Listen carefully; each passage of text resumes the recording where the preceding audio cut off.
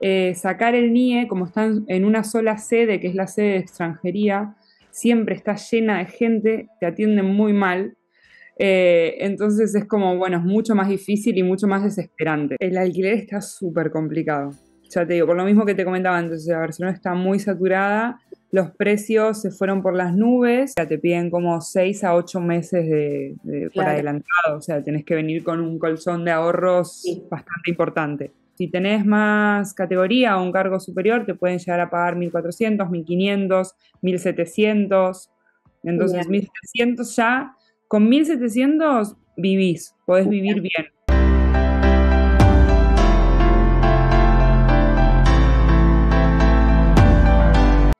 Hola a todos, bienvenidos a un nuevo día, un nuevo video en el canal. Hoy estamos con Denise, que es una argentina viviendo en Barcelona. Hace ya ocho años que vive en España, en Barcelona precisamente, y nos va a contar cómo es vivir en esa ciudad que es tan idealizada por muchos. Vamos a darle la bienvenida. Hola Deni, bienvenida al canal. Hola, ¿qué tal Aye? ¿Cómo estás? ¿Cómo están todos? Bien, muchas gracias por este ratito, gracias por querer, eh, por contarnos tu experiencia, tu estilo, tu forma de vida en España. ¿Querés empezar contándonos un poquito de eh, cuándo emigraste y por qué elegiste España y principalmente Barcelona? Sí, mira, eh, yo hace ya ocho años y medio más o menos que vivo acá en Barcelona. En realidad, cuando yo terminé la carrera de turismo, eh, bueno, mm, tenía en mente irme de Argentina. Lo que pasa que al principio estaba mirando las Working Holidays de Estados Unidos, de irme tres meses y mirar un poco cómo era eso. Pero al final pasó algo que fue que en el trabajo me echaron.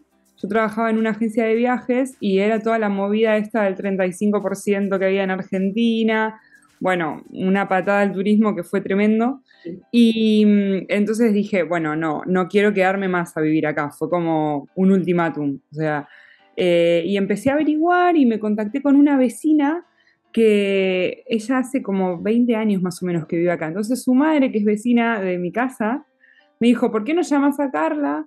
Que ella te puede dar información, a ver qué onda, no sé qué. Entonces, nada, me dio el, el mail, el teléfono, empezamos a hablar y claro, me empezó a contar cómo era. Y ella también se dedica un poco al turismo, no tanto como yo, pero sí que trabaja en, turismo.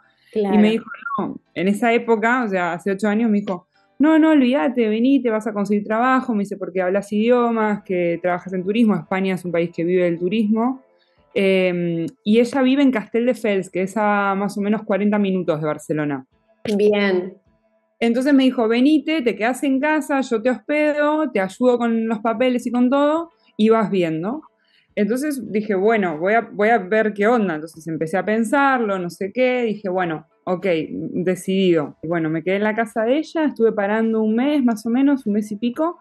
Em, y claro, en ese momento es lo que siempre cuento, es un poco fácil porque decís, te empadronás en un pueblo, que no es lo mismo que empadronarte en Barcelona. Claro, claro. Entonces, mi trámite en ese momento fue, me voy a empadronar, que es muy fácil porque era, eh, Carla me hizo una carta como que yo estaba viviendo con ella, me dio su contrato de alquiler y con eso vas a la policía, y, perdón, a la policía, no al ayuntamiento, pedís cita eh, y te empadronan. Entonces certifican que vos sos un extranjero que está residiendo eh, en Barcelona. Bien. Y después, para sacar el NIE, que es la tarjeta que te habilita como extranjero comunitario a trabajar en, Europa, en España, em, tenías que ir a la policía y ahí tenías que ir con una intención de contrato de trabajo o con un contrato de trabajo. Bien. O sea que la extensión como una promesa de contrato también sirve.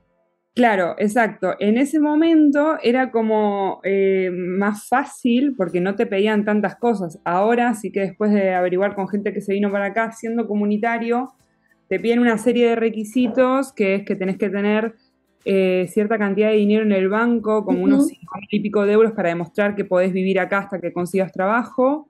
Bien. Eh, un seguro de salud que tiene que ser de 60 euros al mes, que es el que te cubre todo.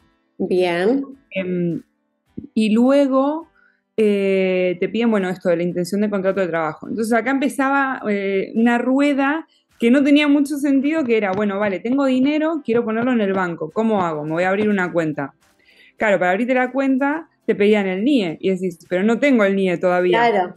No, pero lo necesitas. Eh, te tomo el pasaporte de momento, pero cuando tengas el NIE tenés que venir y actualizarlo. Entonces era como, vale, me tengo que abrir una cuenta y necesito el NIE, pero después ibas al NIE y a veces también te pedían la cuenta bancaria para que demuestres el dinero y es como, no tiene mucho sentido.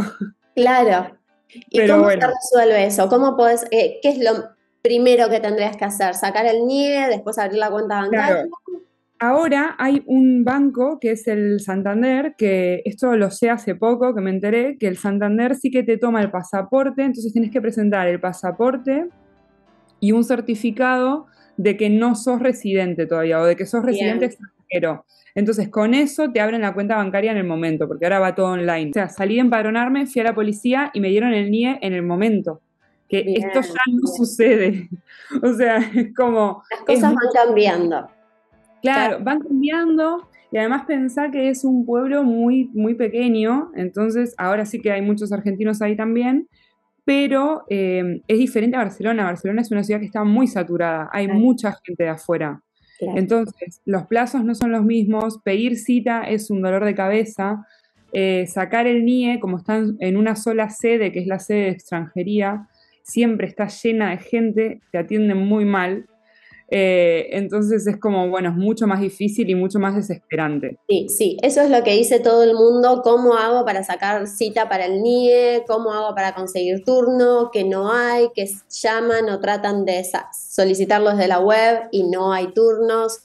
Em, ¿Qué consejo por ahí les das con respecto a esto? ¿Se puede ir sacando turno desde Argentina? ¿Se puede eh, hacer el trámite del NIE, por ejemplo, en otra ciudad, aunque no vivas ahí, por ahí irte a un pueblito más chiquito a sacarlo desde ahí?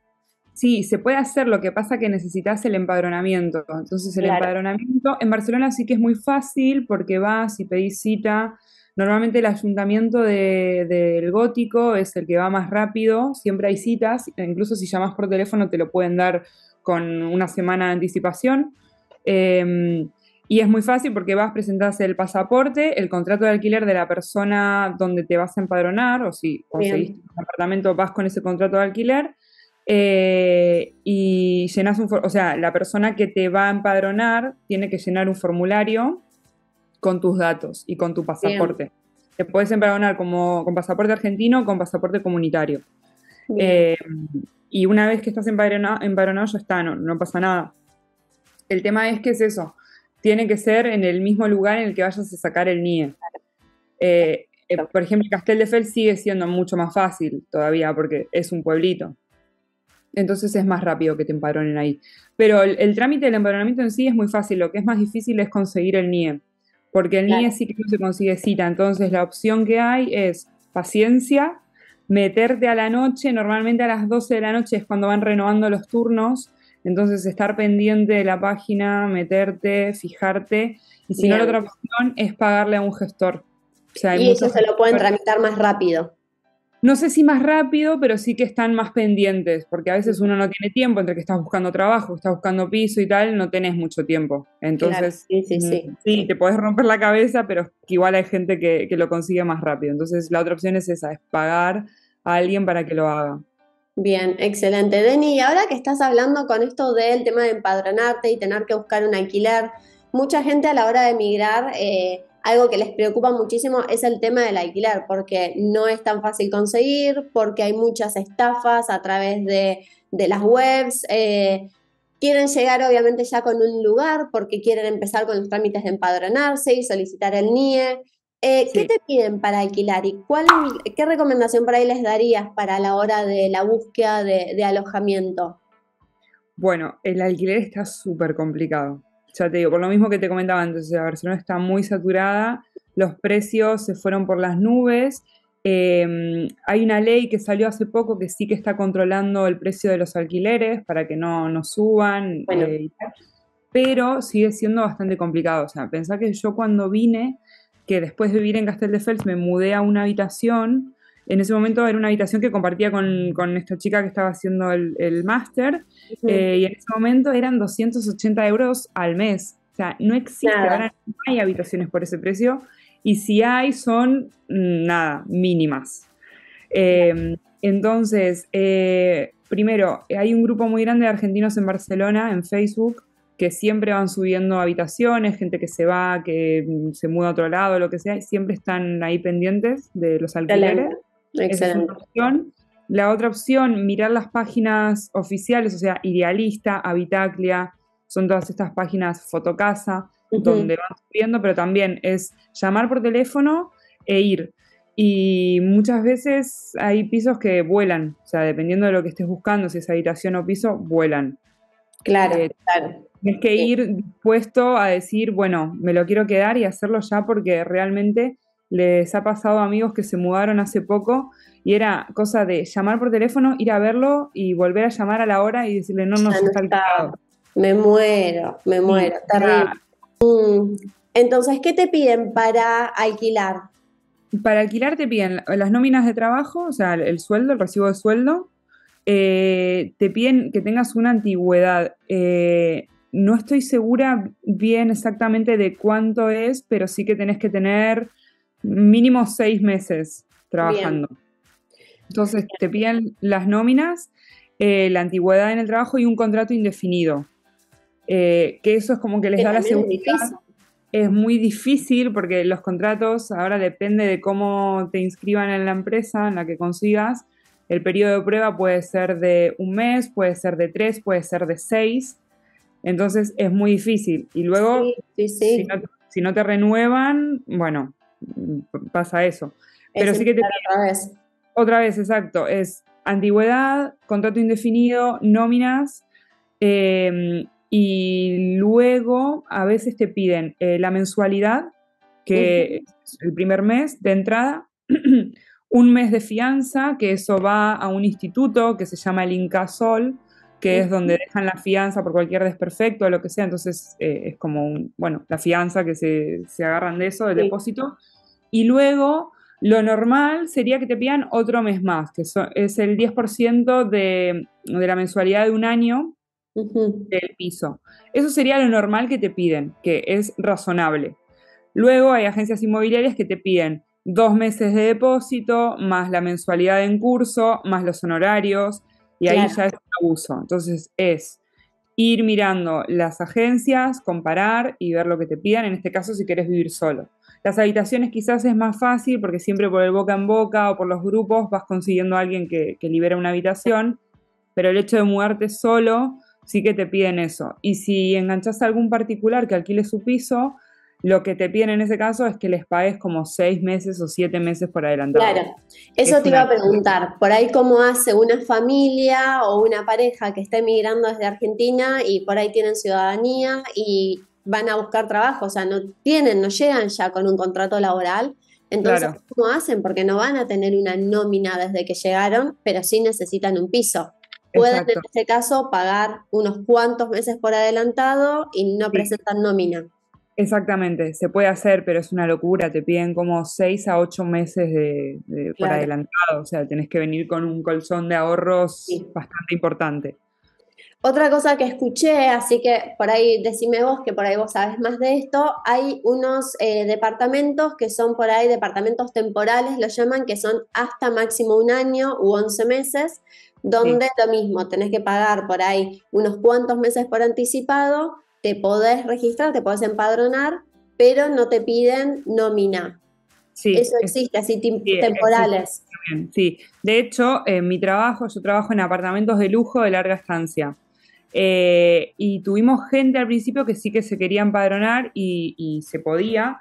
Luego dejamos de hacerlo porque cambió la ley, no sé si es la ley en lo que refiere a los apartamentos turísticos de lujo, eh, perdón, a los apartamentos de lujo no son turísticos, son temporales, em, pero eso depende también un poco de la empresa, de que la empresa decida si empadronas a la gente o no. Y Deni, más o menos cuánto puede llegar a salir eh, un departamento, vamos a hablar desde una habitación hasta un departamento para una pareja o una familia en Barcelona. Bueno, dependiendo mucho de la zona, eh, los alquileres van desde los 650 más o menos, si tenés suerte de conseguir ese precio, que es muy raro, eh, pero se consigue, hasta los 1200, 1300, 1400. Más o menos.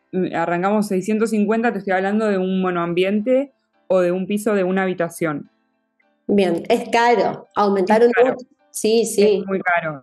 Claro. Sí, sí o sí Claro, más considerando el salario, que bueno, ahora nos vas a contar vos un poquito, pero el salario aproximado mínimo de España está en los mil euros, entonces estamos hablando de que con un salario pagás el alojamiento. Ni hablar si encima tenés que pagar varios meses por anticipado, si tenés que pagar depósito, tenés que ir preparado eh, con ahorros, con solvencia económica, como para desembolsar de una. Totalmente. Eh, otra cosa que también te piden para el hecho de alquilar el piso es que tu nómina no represente al menos el 40%. O sea, el precio del alquiler representa el 40% de tu nómina. Y es un montón, o sea, estamos hablando de que lo mismo, si cobras un sueldo de 1.400 euros, em, se te están yendo 750 euros en alquiler, sin contar gastos, porque los gastos de luz, de agua, eh, de internet van aparte. Entonces, es un montón de dinero. Sí, es un montón, es un montón. Y Deni, ahora hablando de un poco el tema de los salarios. Eh, se estaba hablando de que iba a subir un poquito el salario eh, mínimo en España, pero ¿cuánto es el mínimo y cuánto es lo que más o menos puede llegar a ganar una persona? ¿Todo el mundo gana el mínimo o aproximadamente se paga un poquito más? Entiendo también que España es, eh, Barcelona es una ciudad un poco más cara que otras ciudades, entonces supongo que por ahí tiene un salario un poquito más alto también que otras ciudades. ¿Qué nos puedes contar de eso? Mira, el salario mínimo ahora está en 1.200 más o menos, dependiendo mucho de la, de la categoría y, del área en el que te desempeñes. Hostelería es un sector que en general está muy mal pago, porque está saturado todo. Entonces, eh, dependiendo de si trabajas de cocinero, de recepcionista, lo que sea, el sueldo mínimo sí va entre los 1.000, como decías antes, y los 1.200 euros. Eh, luego, si tenés más categoría o un cargo superior, te pueden llegar a pagar 1.400, 1.500, 1.700. Entonces, 1.700 ya, con 1.700 vivís, podés vivir bien. O sea, cubrís gastos y, te da, no tanto para ahorrar, pero sí que depende de cómo te organices, sí que te, te da. Bien. Eh, y luego está el tema de las pagas extras, que normalmente te las prorratean y te las incluyen en la nómina, de acuerdo si son 12 pagas o 14 pagas. Eh, en mi caso yo tengo 12 pagas y lo que sería el aguinaldo como es en Argentina lo tengo incluido en la nómina. A mí no me lo pagan ni en diciembre ni en junio. Claro, te lo incluyen ya mes a mes. Te lo incluyen mes a mes. Y luego también está el tema del IRPF, que es la retención, el impuesto que te retienen, eh, que eso también eh, al principio es muy bajo, y luego cuando haces la declaración de Hacienda, te matan porque te retienen muy poco. Entonces siempre hay que pedir que te retengan lo más posible para evitar esto, justamente, que después cuando hagas la declaración de la renta, si te corresponde, eh, sea el Estado el que te tenga que pagar y no seas vos la que le tenga que devolver. Claro, claro, claro. Y ahora, entonces, una familia aproximadamente como para poder vivir en España, una familia tipo mínimo tendrían que tener aproximadamente dos salarios de arriba de los 1.500. Totalmente, sí. Para estar tranquilos y cubrir gastos y vivir, sí. 4.000, 4.500 euros al mes sería como lo ideal. Bien, bien. Perfecto. Ahora, ¿es fácil conseguir un salario así, un trabajo que pague eso o son los menos? Mira, yo creo que es, es, como todo, o sea, cuando vas empezando, yo cuando empecé a trabajar cobraba 600 euros que recuerdo que mi jefa me dijo en su momento cuando me hizo la entrevista, ¿estás segura que te va a alcanzar? O sea, era mínimo, porque aparte yo trabajaba solamente los fines de semana y los festivos. Entonces, si bien era un sueldo bastante alto para solamente trabajar tres días a la semana, no dejaba de ser un sueldo muy bajo, o sea, incluso por debajo del mínimo. Sí, sí, eh, Entonces luego vas escalando y, va, y bueno, me pasaron a jornada completa entonces a jornada completa ya empezás a cobrar un poco más. Con los extras sacas mucho. Los camareros, por ejemplo, pueden tener un sueldo base, pero con las propinas eh, sacan a veces incluso mucho más que el sueldo base. Bien, bueno, eso es un buen dato. Sí, es dependiendo mucho del área. Luego están las, actividades más profesionales como, no sé, diseñadores gráficos o diseñadores UX, todo lo que es eh, nuevas tecnologías, eso se paga muy bien. Tengo amigos que trabajan en, UX, en UI, eh, en programación, y esos son sueldos que sí que siempre son altos. Claro. Eh, siempre hay mucha demanda, o sea, hay mucha rotación, pero también hay mucha demanda. Eh, entonces es más fácil. Si venís con un, con un, título de programación o de ingeniero, es un poco más fácil. No todos los ingenieros, porque también hay ingenieros, por ejemplo, los ingenieros medioambientales, perdón, em, son los que a, veces como hay grados acá que son terciarios, digamos, eh, no te pagan tanto, porque es algo que puede hacer alguien con un título terciario, entonces dice, va, sos ingeniero, pero me da igual porque esto lo puede hacer otra persona que tiene un título intermedio y no te voy a pagar eh, como un ingeniero. Buen punto, buen punto porque además hay muchos ingenieros queriendo emigrar, también buscando mejores posibilidades. En Argentina son bien pagos o en Latinoamérica son bien pagos, pero obviamente ni se compara con un sueldo en euros. Eh, bueno, está bueno como para que lo consideren, ok, qué tipo de ingeniero, qué área o qué, o qué rama de la ingeniería, porque después en definitiva por ahí emigras, que está bien, no es solo el sueldo, también es la calidad de vida, es la seguridad, son un montón de cosas más, pero por ahí si estás buscando un sueldo, bueno, considera que por ahí si es considerado un terciario y demás, no vas a estar logrando ese sueldo que por ahí esperas como ingeniero. Y Deni, ¿qué nos podés contar? Eh, algo que me preguntan muchísimo las familias, cuando, bueno, las familias, gente mayor también que quiere emigrar a España, es el tema de la salud, del sistema sanitario. Vos hoy mencionaste que incluso cuando vos emigras con ciudadanía europea, algo que te piden también es que tengas un seguro médico. Em, ¿Qué nos puedes decir? ¿Es ¿La salud es pública, es privada? ¿Necesitas un coseguro? Yo he escuchado mucho hablar, por ejemplo, del seguro de Sanitas o de la Caixa. ¿Cómo funciona la salud en, España? Sí, mira, te cuento. Eh, la salud es pública y el sistema de salud está muy bien, está muy bien montado. Em, lo que pasa que, eh, bueno, ni bien te empadronás, eh, y luego, eh, sí, una vez que estés empadronado, eh, puedes solicitar la tarjeta del CAP, que se llama, el Centro de Atención Primaria, em, que te asignan uno de acuerdo a donde vivas. Entonces, por ejemplo, yo vivo en Sagrada Familia y a mí me corresponde el CAP de Sagrada Familia, que está a tres cuadras de mi casa. Em, y con eso te puedes atender, en, bueno, en cualquier hospital, evidentemente de emergencias, y luego te asignan un médico de cabecera y una enfermera. Entonces, normalmente cuando tenés que hacerte análisis o lo que sea de control, yo voy, suelo ir una vez al año, eh, te dan el médico de cabecera. Entonces, el médico de cabecera es el que decide si te deriva algún especialista. Bien. El traumatólogo, el dermatólogo, lo que sea. Eh, pero siempre todo pasa por el médico de cabecera. ¿Por qué? Para no saturar el sistema de salud. Entonces es como, bueno, vale, esto te lo puedo resolver yo o esto necesita de otro profesional. Entonces en ese caso sí que te derivan. Eh, yo estoy muy contenta con el sistema de salud, la verdad no me puedo quejar. Eh, luego también tenés la opción de optar por la tarjeta sanitaria europea, que si salís de viaje o lo que sea, es para que te atiendan también en el extranjero de manera gratuita. Eh, en este caso, tenés que ser comunitario. No sé, no estoy segura, no, no quiero decir algo que no, no estoy enterada, pero no sé si con pasaporte argentino esto funciona en el resto de Europa. El, tema del seguro aparte, del seguro privado, yo en mi caso lo tengo porque en la parte de ginecología sí que no estuve contenta con cómo me atendieron, porque no es como en Argentina que te asignan a una ginecóloga, que vos vas a tu ginecóloga. Acá están eh, las que se llaman las matronas, que son las que se encargan del parto y tal. Eh, pero muchas veces eh, no, te, no te atiende directamente la ginecóloga. Entonces, como no me gustó cómo me atendieron, yo me contraté un seguro de salud privado en el que solamente pago los especialistas. No pago ni la internación ni, ni, bueno, toda la atención hospitalaria.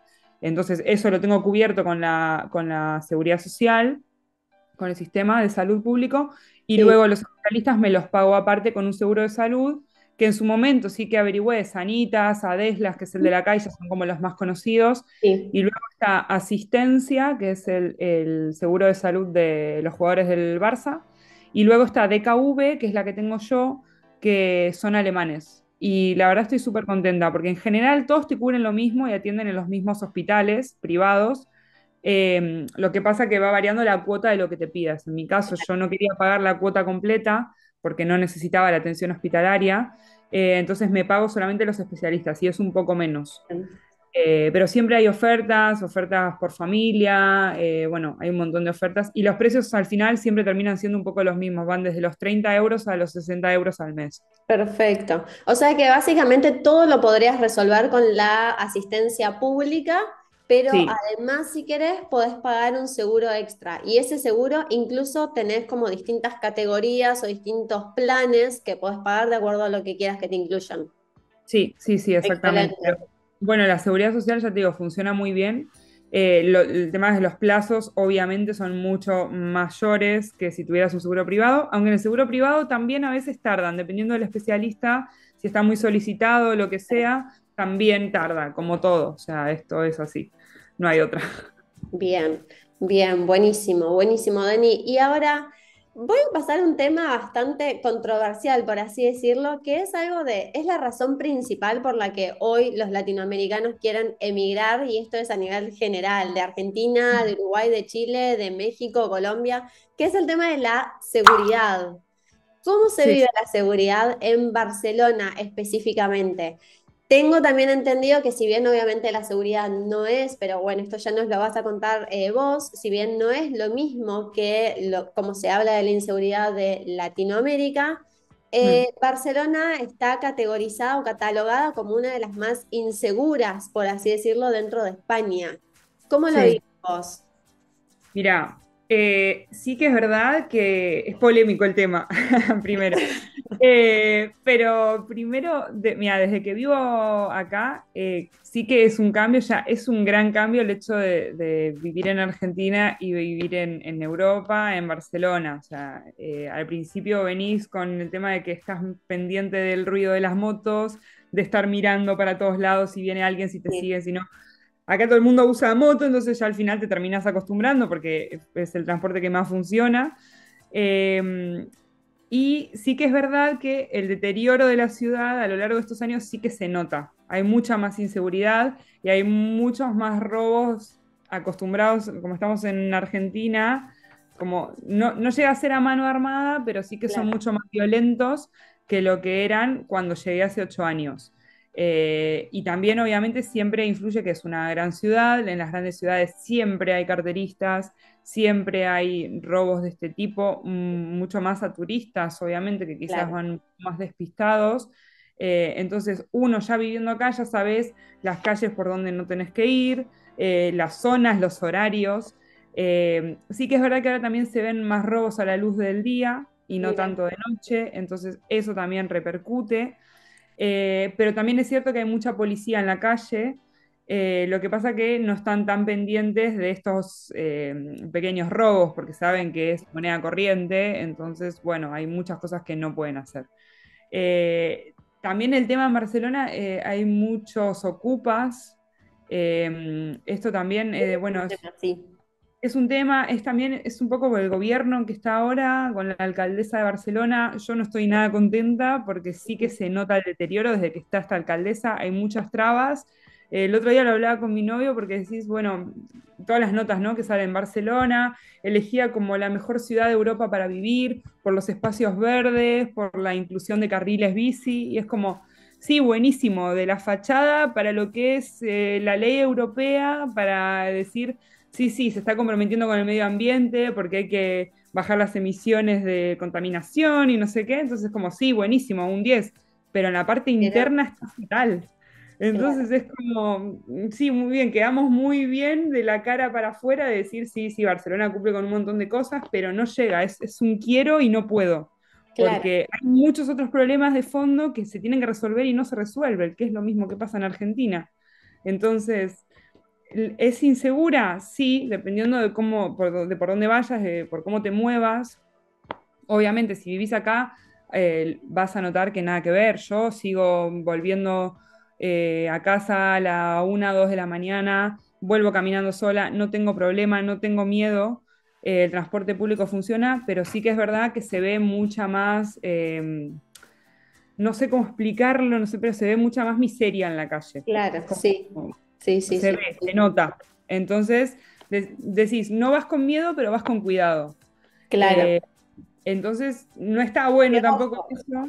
A eso voy. Uno también, más allá de los hechos que pasen, si bien por ahí pasan, pero también se puede decir que son menos a los que estamos nosotros acostumbrados, también hay una realidad y es que nosotros en Latinoamérica vivimos con el constante miedo de eh, que no haya nadie atrás cuando estás cerrando la puerta de tu casa, que no te, que no pase un auto justo cuando estás entrando tu auto, porque por ahí se bajan rápido y se te meten en la casa. Eh, estás con un miedo constante que uno cuando emigra se quiere sacar esa mochila de encima. Y acá es como que por lo que vos nos contás, yo veo que más allá de que por ahí pasan menos cosas, estás un poco con esa persecuta de, uy, a ver quién viene atrás. Eh, sí, sí, sí, sí. Es un poco la sensación. Exacto, es la sensación que te queda. Bueno, eh, por ejemplo, el, otro día estaba caminando por acá, por casa a la mañana, eh, que me fui de, viaje a Francia y estaba mirando en la otra calle, llegando al metro, el portal de uno de los, de los edificios, claro, estaba abierto porque tenía una reja baja y en, el portal, en la entrada, había gente durmiendo, o sea, había homeless que estaban durmiendo. Entonces es como, siempre, quieras o no, en la zona ahora lo ves más cerca, que hay homeless, que hay gente que, que se droga o lo que sea, que están ahí en la calle, que están pidiendo, y lo ves en el portal de tu casa, o sea, es como, bajás y tenés a alguien durmiendo ahí y decís, vale, esto está mal, o sea, es como, es raro, es chocante eh, no sabes qué te van a hacer, si te van a hacer algo, si no. Entonces es como ese, ese miedo, eh, no, a niveles de Argentina, pero sí que decís, bueno, no, no está tan bueno esto. Claro, claro. Se ve mucho más también después del COVID. O sea, después del COVID esto en todas las ciudades pasó un poco que se ve mucha más gente en la calle y es mucho más difícil también. Y esto es más que nada a nivel de Barcelona, porque se habla mucho de la inseguridad de Barcelona, pero pasa también en otras ciudades de España, ¿tenés idea? ¿O es, más que nada focalizado quizá porque hay en Barcelona quizá más cantidad de gente, quizá más cantidad de inmigrantes, eh, o porque no está tan controlado quizá por la propia policía de la eh, provincia o de la ciudad de Barcelona? Yo creo que es particularmente en Barcelona ciudad, porque luego te vas un poco a las afueras eh, y no, no, no, lo ves tanto. Sí que lo ves, pero no se ve tanto. Claro. Es una cuestión de la política municipal de Barcelona. Eh, es, un poco lo que decías, está la ciudad saturada, hay mucho inmigrante, hay mucha inmigración legal, ilegal, o sea, hay de todo. Em, entonces eso se nota. En medio de lo que hablábamos eh, fuera de cámara, cuando uno recién llega a España, vos haces la comparación de España con eh, Argentina, con Chile, con México, con Colombia, y hoy en día Latinoamérica está tan mal que llegas a España y te parece una maravilla, y te parece una locura, y todo es primer mundo, pero después empezás a notar que hay ciertas cosas a lo largo de los años que no están tan buenas, y vos haces ya unos cuantos años que vivís ahí y pudiste transitar distintas etapas por las que ha ido pasando el país y la ciudad. Entonces está bueno porque ante tus ojos, bueno, vos has visto lo que antes estaba mejor también. Sí, sí, sí, exactamente. Yo ya te digo, yo llegué en el 2014 eh, y a finales de 2015 estuvo el cambio de gobierno y se nota. O sea, se nota, porque era como, yo me acuerdo que ni bien llegué, eh, me metía en el metro y salía, de repente decís, ay, me perdí, aparecías enfrente a la casa Batió o en la Pedrera y decís, wow, ¿qué es esto? Estaba mucho más limpia la ciudad. Em, se notaba, se notaba que decís, bueno, es una ciudad digna de, asemejarse a una capital europea, eh, que es un poco eso. Entonces también, en particular, el gobierno que está ahora em, es un gobierno que quiere pero no quiere al turismo. Es como, sí, vengan a Barcelona, pero no vengan tanto. Y decís, mm, loco, es una ciudad que bien organizada y, con las políticas correctas se puede potenciar muchísimo y realmente puede ser una, ciudad referente en lo que es al turismo y a la seguridad, pero es que no, no lo están haciendo. Y eso da bronca también, porque una trabajando en turismo decís, loco, eh, esto sí que se puede potenciar un montón y no, no, lo hacen y no depende de, nosotros, ¿no? De los trabajadores. Y Deni, con respecto a esto de que se quieren independizar de Cataluña, Em, ¿cómo, has visto el tema del idioma? Eh, ¿se, ¿Está mucho más marcado el catalán hoy en día, por ejemplo, a la hora de conseguir un trabajo o a la hora de vivir en Barcelona?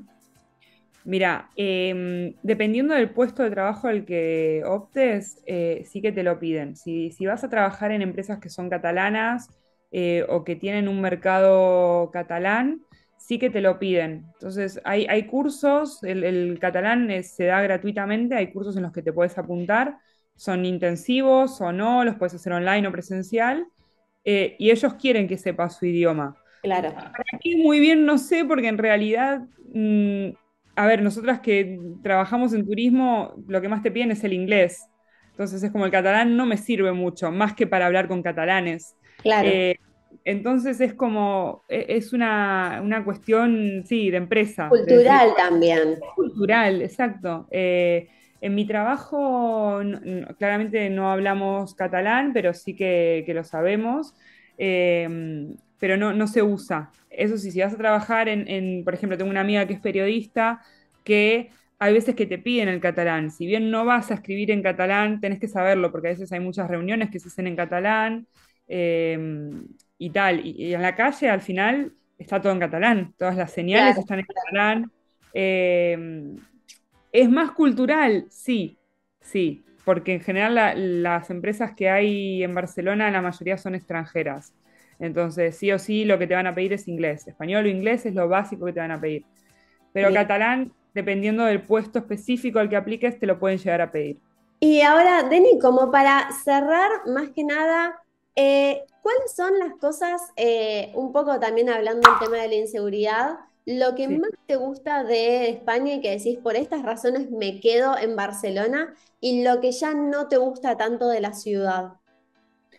Vale, eh, a ver, lo más, lo más lindo, digamos, es que también mi grupo acá son la mayoría argentinos. entonces, hay muchísimos argentinos en Barcelona. Después del Mundial se vio la cantidad que somos. O sea, eh, el tema de haber ganado la Copa, ir a festejar, ver la cantidad de argentinos que hay, o sea, es impresionante. Me imagino. Te sentís un poco como en casa porque esa, esa cultura de, salir a tomar algo, de, juntarse, está como muy, muy arraigada en, Barcelona, eh, bueno, en España en general. No tanto esto de decir, ay, bueno, estoy cerca de tu casa, subo y tomamos algo, eso quizás no tanto, salvo que sean argentinos. Entonces eso es como que al final te sentís como un poco en casa. Eh, con otros sueldos, obviamente, con otro progreso. El clima, yo creo que el clima es fundamental.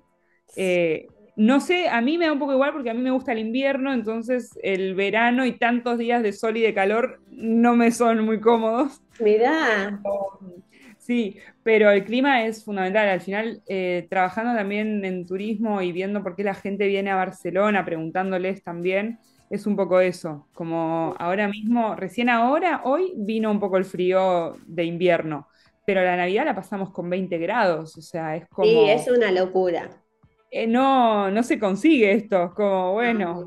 Em, entonces está bueno eso, hay, hay muchas cosas también para hacer al aire libre. Eh, muchas actividades culturales, muchos festivales. Eh, los precios, si bien ahora está todo un poco más caro en comparación con el resto de ciudades de Europa, sigue siendo barato. Eh, entonces, eso también está bueno y el hecho de poder moverte desde Barcelona al resto de las ciudades por muy poco precio también, eso, eso está bueno, es como lo que incluyo en el, vale, elijo Barcelona por esto. Y, además que también conoces gente todo el tiempo, es una ciudad que sigue siendo cosmopolita. Súper, sí. Conoces gente todo el tiempo, entonces eso está bueno. Y bueno, la parte negativa un poco es esto, ¿no? También eh, el hecho de que sea una ciudad cosmopolita también hace que también esté saturada. Claro. Entonces hay mucha gente eh, en todos lados, en el metro, en la calle, Em, en todos lados. Se nota y eso a veces cansa porque decís, no puede ser que haya tanta gente. Está muy, muy, muy superpoblada. Sí, cuando vivís ahí, obviamente cuando uno va de turismo y estás paseando no lo sentís tanto, pero cuando vivís ahí, que haya tanta gente te sofoca. Llega un punto donde decís, ok, ya, es mucho. Ya está. Claro, ya te digo, yo vivo en Sagrada Familia y es bajar del metro, ir al metro a cualquier hora hay gente que decís, qué lindo, hay un montón de turistas y por otro lado decís, los mato a todos porque es un bajón. Los precios de ir a tomar un café cerca de casa, como no sea a un bar que conozcas de barrio, es carísimo porque es todo precio turista. Claro. Eh, ir esquivando gente todo el rato. El tema de la inseguridad también es mucho más preocupante ahora. Eh, entonces es como la parte negativa que decís, uff, me, satura. Además, aclaremos que justo vivís en un punto que es súper turístico, porque es una de las paradas de metro más turísticas. Sí, sí, sí, es un bajón. A veces es como, ay, necesito huir de acá porque está lleno de gente. Eh, pero bueno, sí, ya te digo, como el, abandono de la ciudad, eso también es lo que más eh, te hace mal, porque te da pena, más que nada porque yo la vi diferente cuando llegué, entonces es como, uff, después el tráfico también es un quilombo, o sea, es, pero bueno, son las cosas de vivir en una gran ciudad, que al final es lo que hacen al hecho de que sea una gran ciudad. Total. Eh, pero sí, ese es un poco. Y como última pregunta, Dani, ¿qué recomendación le darías a la persona que está pensando en emigrar a Barcelona? Eh, que venga con muchas ganas y mucha paciencia, porque es difícil. O sea, y tengo una amiga que me dijo los primeros tres años son los más difíciles, y es verdad. Eh, los primeros tres años de, la vida del emigrante es, lo más complicado porque tenés que lidiar con un montón de emociones, tenés que lidiar con que estás lejos de tu casa, de tus amigos, de que decidiste emprender una vida en un lugar nuevo eh, y estás solo a veces, por más que conozcas gente o lo que sea, al final te sentís solo porque es difícil, o sea, es como empezar de cero, eh, entonces es muy complicado y, tenés que luchar contra eso, con decir, no, vale, por algo me fui, como no perder el norte, decir, ¿por qué me fui y qué estoy haciendo acá? Eh, entonces es como, siempre va a haber alguien que te va a echar una mano, pero a no bajar los brazos, porque es como, es complicado. Eh, entonces se, nota la falta de, apoyo que tenemos nosotros, que, es, es, diferente. O sea, el argentino tiende por sí a echarse una mano. Sí, Acá es más difícil, es, un lugar un poco más hostil. Entonces es como tenés que estar solo acá y buscarte la vida, como sea. Em, y es re loco esto que contás, porque mucha gente quiere ir a España específicamente porque se piensan que la cultura es muy similar a la nuestra y que van a llegar y van a tener esa misma sensación de estar en Argentina o de estar en Latinoamérica y no es tan así, porque si bien es similar, el español no es el latino. No, no, es así, pero si te rodeas de argentinos. Eh, si no, es muy difícil, los españoles son muy diferentes. Eh, culturalmente, si bien tienen esto de que te comentaba antes, de salir al bar, de ir a tomar algo, es, es muy diferente, son mucho más reservados particularmente en Cataluña, son muy diferentes, son mucho más fríos, son mucho más mala onda. Estoy generalizando, pero es el, trato que, hay y que ves relacionándote con gente de acá. Entonces es difícil, es difícil porque uno siempre va de buena onda, de buen rollo, y acá te cortan un poco más, es como no, no, son más así impersonales. Entonces eso es difícil y es difícil para nosotros que venimos de, una sociedad que es diferente. Sí, total, eh, total. Si eres argentinos, bueno, se te pasa más rápido, pero si tu idea es venir y conocer gente y meterte en la cultura, son muy de ellos, son muy suyos y es complicado. Excelente, buen punto, buen punto, porque como te decía, mucha gente se piensa los españoles como somos hermanos, somos uno más. Y no, es así. No es así. Excelente. Bueno, Deni, muchísimas gracias por la información, por todos los datos. La verdad que nada, un placer, un placer haber hablado con vos y que nos hayas también contado tu experiencia y tu punto de vista de la ciudad, de una ciudad tan elegida además. Así que millones, millones de gracias. De nada, un placer siempre poder ayudar.